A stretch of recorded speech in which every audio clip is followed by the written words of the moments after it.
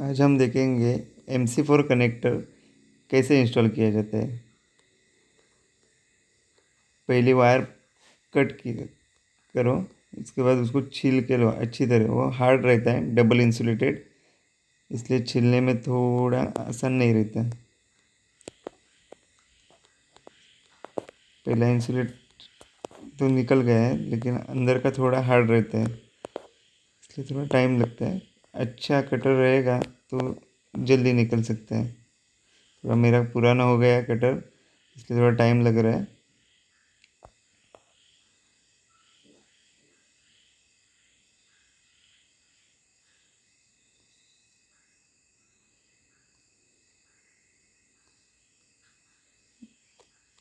इसके बाद इसका पिन मेल फीमेल में अलग अलग रहता है, पहले चेक करके लेने का।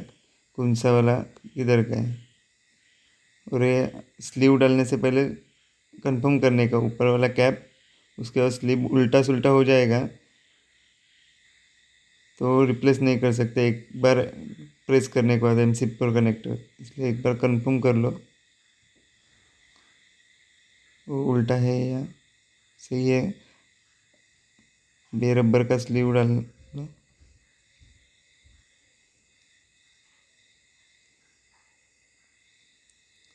वायर कट करते समय थोड़ा ज़्यादा करने का कट के अंदर भी जाना चाहिए थोड़ा।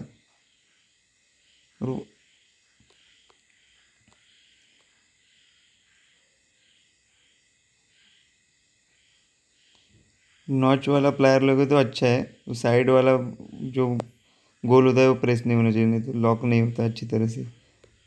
दो पॉइंट रहता है, पहला पॉइंट अच्छी तरह से प्रेस करके लेने का। ऊपर का डायरेक्ट लोगे तो अच्छा प्रेस नहीं होता, इसलिए अभी अच्छी तरह से प्रेस करके लेने का। नॉच वाला प्लायर ही अच्छा काम करता है।